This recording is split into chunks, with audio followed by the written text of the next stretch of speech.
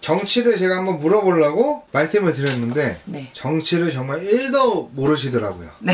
그래갖고 제가 핸드폰 세대 갖다 지금 사진을 하나씩 드렸잖아요. 네. 그 선생님이 봤을 때 얼굴 관상으로만 봤을 때 네. 어느 분이 대통령이 될 것인지 네. 그냥 한번 사진을 한번 들어보시게요. 이분이 누구예요? 그분이 이재명 씨거든요. 이분이 될 것 같아요. 그분이 대통령이 될 것 예. 같아요. 그러면 한 분씩 선생님이 봤을 때 네. 그냥 점으로 봤을 때 어떤지 좀 네. 이야기 좀 해주세요. 이분은 이재명 씨? 예. 예. 이분은 많이 많은 사람같이 은덕을 이렇게 베푸르고 많이 덕을 쌓았어요.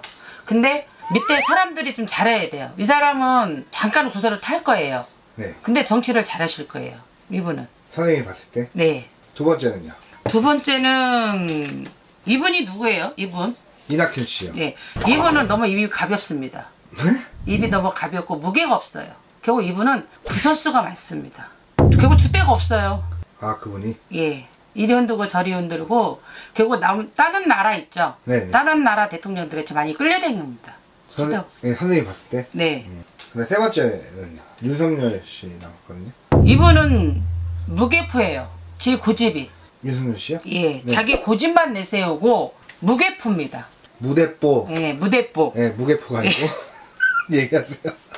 예.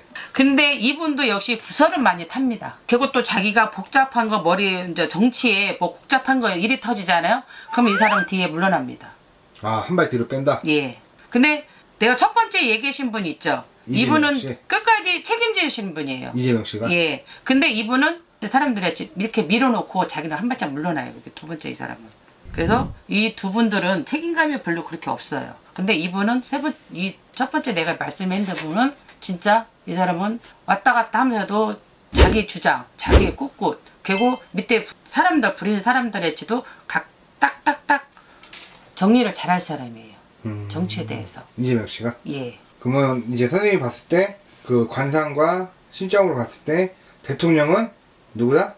이재명 씨? 네. 네, 다 알겠습니다. 네. 선생님들마다 다 다르네. 네. 아, 달라요? 네, 지금 달라갖고 일단은 알겠습니다. 어차피 뭐 다를 수도 있죠. 네. 누가 될 건지 기대되네요. 네.